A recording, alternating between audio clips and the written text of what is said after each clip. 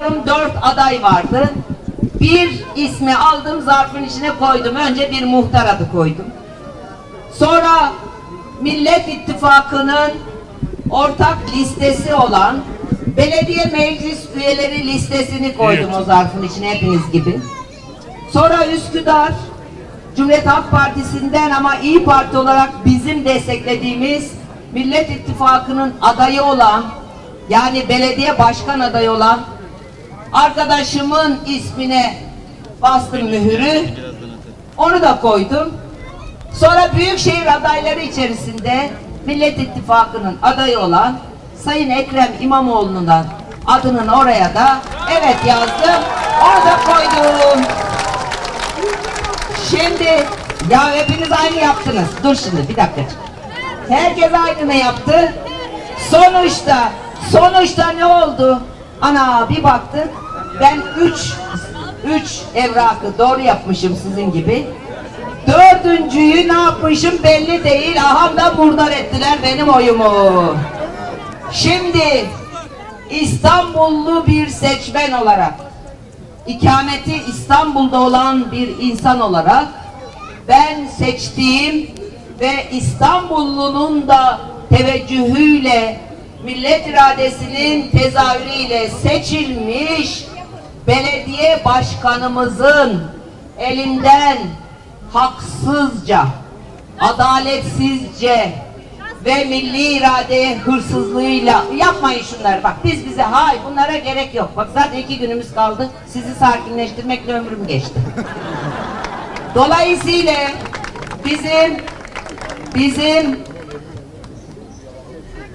seçtiğimiz yani bütün İstanbulluların bir bölümünün tercih edip ama o sandıktan belediye başkanı olarak çıkan Sayın İmamoğlu'nun elinden haksız, hukuksuz, adaletsiz ve milli iradenin gaspıyla sonuçlanan mazbatasının elinden alınması karşısında elbette Sayın İmamoğlu'nun hakkını da korumak üzere ama öncelikle seçmen Meral Akşener'in hakkını korumak üzere 39 ilçede tek tek gezip çadır ziyareti yapıyorum. Kimi zaman öyle sizin gibi toplanıyorlar. Konuşuyorum. Esnaf eli sıkıyorum. Tahmin edemezsiniz rastgele apartman zili çalıyorum. Çok ilginç, çok ilginç bilgilerim var haberiniz olsun. Şimdi 31 Mart seçimlerine giderken iki ittifak oldu. Biri Cumhur İttifakı, bir diğeri de Millet İttifakı. Biz Cumhur İttifakı'nın oluşturan siyasi partilere destek olan, onların bulunduğu, onların gösterdiği adaylara oy veren hiçbir kardeşimizi hakar, kardeşimize hakaret etmedik. İftira atmadık. Hep söylediğimiz şu oldu. Seçmen sandığa gitsin, tercihini yapsın ve lütfen ben çok gezdim özellikle 31 Mart'a giderken oralarda da ne Sayın Kılıçdaroğlu'nun ne de benim ağzımdan Cumhur İttifakı'nı destekleyen vatandaşlarımıza yönelik tek bir incitici söz çıkmadı. Küçük ilçelere gittik. Ben kendi deneyimimi paylaşayım sizinle. Hep dedim ki elbette kendi adayımıza o istemeye geldik ama bu siyasetin güzelliği burada. Siyasi rekabet seçmene yarar. Seçmenin gözünün içine siyasetçinin bakmasına yarar. Uzunca bir zamandır ceketime assam seçilir modelinin siyasetçiye seçmeni unutturduğu bir süreçten geçiyoruz. Dolayısıyla bu kulağa çekil ve ama bu kulağa çekerken kesinlikle komşularınızla, arkadaşlarınızla, akrabalarınızla kötü olmayın. Bütün bunların yanında bize illet dendi. Zillet dendi. Efendime söyleyeyim terörist dendi, dendi babam dendi. Büyük bir sabırla 31 Mart'ı getirdik. Bizim bu tavrımız olmasaydı her yerde insanlar gerçekten birbirleriyle kötü olabilirlerdi. Şimdi 31 Mart akşamı seçilmiş bir belediye başkanının elinden mazbatası alındı. Şimdi buradaki Hazırun bana sorabilir. Der ki seni bulduk, sana soruyoruz. Niçin arıza çıkarmadınız? E kardeşim nasıl arıza çıkaralım? Hele ben iyi arıza çıkarırım. Tanıyorsunuz iyi kötü. Çıkarmama nedenimiz sizsiniz. Türkiye'nin ekonomisi berbat. Damat harikalar diyarında. Her evde bir ya da iki genç işsiz var, üniversite mezunu. İstanbullunun Türkiye rezalet durumda ekonomik manada ama İstanbul özelinden yola çıkarsak İstanbul'da yaşayan her 100 kişinin 70 kişisi banka borcuyla boğuşuyor. AK Partili seçmen de boğuşuyor. CHP'lisi de, İyi Partilisi de, MHP seçmeni de banka borcuyla boğuşuyor. Şimdi biz arıza çıkardığımız zaman bu beceriksiz arkadaş sebebiyle içine tükürülen ekonomimizin iyice bu probleminin derinleşmesini istemedik bir. İki, S-400'ler, Avrupa Birliği, NATO, Rusya, Amerika ile olan ilişkiler bakıldığı zaman Türkiye'nin dış politikada itibarının yerlerde süründüğünü hep beraber biliyoruz. Şimdi kendi içinde gagalaşan, kendi içinde yoluşan bir siyasi yapının Türkiye'yi yurt dışında daha da zor duruma düşüreceğini düşündüğümüz için arıza çıkarmadık. Dolayısıyla dedik ki İstanbullu ferasetlidir. İstanbullu irfan sahibidir. İstanbul'da yaşayanlar İstanbul'un her bir karışının İstanbullunun olduğunu bilir. İstanbullu İstanbullu dünyaya bu milli irade gaspını demokrasiyle tekrar sandıkta nasıl örnek olacak bir biçimde dersini vermesini bilir. Ne yapılırsa yapılsın sabredeceksiniz. Hatta her ilçede söylüyorum. Yanağınıza bir tokat atılsa öbürünü çevireceksiniz. İyi Partililer diyor ki o kadar uzun boylu değil ama o kadar uzun boylu. Asla asabileşmek yok. Bakın bugün gelirken yaşadığımız bir hadiseyi söyleyeyim size. Bir ilçede şimdi Bakırköy'den başlayıp diğer ilçelere doğru gidecektik. Şu an itibariyle 29. ilçedeyim ben. Ve haber geldi ki biz o ilçede çadırımızı ziyaret edemezmişiz. Olsun, olsun. Ben de esnaf gezerim. Esnaf geleceğim. Şart değil. Rahatsızlık. Hocam çıkın şuraya. Çıkın çıkın.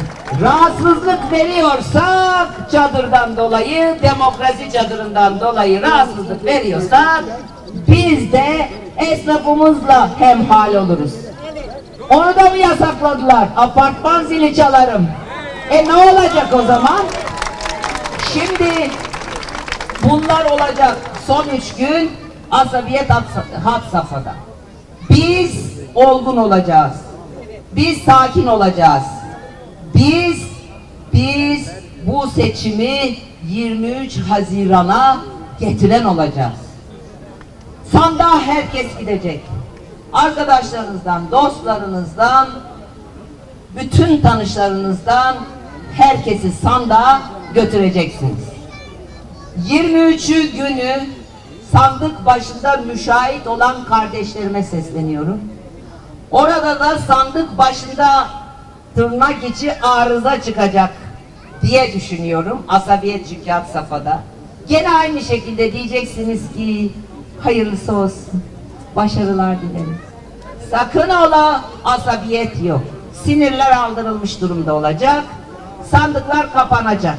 Sandıklar kapandıktan sonra sayım başlayacak. İkinci bir arıza spor orada olabilir. Oraya da sabredeceksiniz.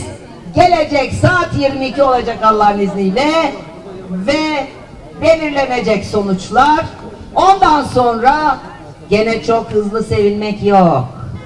Son derece olgun, son derece vakur bir sevinç yaşayabilirsiniz. Ancak mazbatayı Sayın İmamoğlu'na verdikten sonra büyük şehre, Büyükşehir Belediyesi'ne, kendisine kalabalık olarak eşlik edebilirsiniz. Ancak o zaman sevinebilirsiniz. Dolayısıyla şimdi bu sertleşecek dili, sertleşmeye başlayacak dili, yani moderatörden medet uman durumu, Sayın Binali Yıldırım'ın düşürüldüğü durumu, Sayın Erdoğan'ın yeniden sahaya girme durumlarını düşündüğünüzde anlaşılıyor ki bizim durumumuz iyidir. Ama rehavete kapılmak yok ha. Bakın, bakın rehavete kapılmak yok. Çünkü az farkla çamura yatıyorlar. Dolayısıyla o sandığı oyla patlatacaksınız. Ve ve dediğim gibi hayırlısıyla 23 Haziran'a geleceğiz. Ondan sonra saat 22'de inşallah İstanbullunun İstanbullunun gayreti, feraseti, irfanı devreye girecek ve bu bu milli irade gaspının düzeltilmesini göreceksiniz. 31'inden daha fazla, daha büyük bir oy farkıyla bu iş bitecek. Evet. Şimdi bu dediklerimi, bu dediklerimi Anadolu'da şöyle bir söz vardır. Bu söylediklerime kulak asına. Takip edeceğim, takip. Şimdi İstanbul seçimlerinin niye iptal edildiğini vallahi anlayamamıştım. Şimdi anladım. Yani o gece Sayın Erdoğan muhtedil bir konuşma yaptı ve hepimizin Cumhurbaşkanı olma fırsatını değerlendirecek diye düşündüm. Aradan zaman geçti. Valla üç harfler mi, beş harfliler mi, kim fısıldadı, ne oldu onunla ilgili bilmem. Yani ben üç harfli ve beş harfli uzmanı değilim biliyorsunuz. Uzmanlarına sormak lazım. Böyle bir durum oldu. Sonra anladık ki İstanbul seçimlerinin iptalinin gerekçesi duygusalmış. Şimdi 1994'te 2 milyar dolar borçlu. 2019'da İstanbul Büyükşehir Belediyesi 22 milyar dolar borçlu. Bu paraların İstanbul'a harcandığını varsaysanız İstanbul nasıl bir çehreye bürünürdü? İstanbul'da işsiz kalır mıydı? İstanbul, İstanbul nasıl bir şehir olurdu? İstanbul'da yaşayanlar hangi hizmetleri alırdı? İstanbul'da yaşamak bir ayrıcalık olur muydu? Bunların hepsini göreceksin. Sadece bir, sadece bir, iki meseleyi söyleyeyim. 6000 araba kayıp. 6000 araba kayıp. Kimlerin altında bellidir. Tabii ki aramaz. Bunun dışında 20 binin üstünde diyorlar rakamı bilemiyorum tam olarak. Banka, matik yani çalışanı mevcut. Günahtır be. Gerçekten günahtır. Bakırköy nispeten geliri daha yüksek ilçelerimizden birisi olmakla birlikte ya Bakırköy'de de her evde bir ya da iki üniversite mezunu işsiz genç var. Yazıktır, günahtır. Ama 18 günde ne oldu? 18 günde su paraları indi. Ya su paraları indi. Akbiller indi öğrenciler için. Daha ilgincini söyleyeyim. Daha ilgincini söyleyeyim. 94'ten 2019'a aşağı yukarı 25 yıldır şimdi düşünün çeşmelerinden su içilen İstanbul'dan her eve damacanayla su alınan İstanbul'a üç kişilik, dört kişilik bir ailenin aylık damacana suyu parası 120 lira. Ya uçtuk, kaçtık, kaçtık. Dolayısıyla çeşmelerinden su içilebilecek, musluklarından su içilebilecek bir İstanbul'u hayal etmek ve gerçekleştirmek mümkündür. Sayın İmamoğlu Millet İttifakı'nın adayıydı ama şu anda 16 milyon İstanbullunun belediye başkanı olmuş durumda ve 16 milyon İstanbullu bunun gereğini yapacak. Evet beraber olduğumuz için gerçekten büyük bir heyecan duydum. Allah hepimizden razı olsun. Seçimlerin seçimlerin ülkemize hayırlar getirmesini diliyorum. Hayırsız bir işin hayra vesile olmasını diliyorum. Saygılar sunuyorum.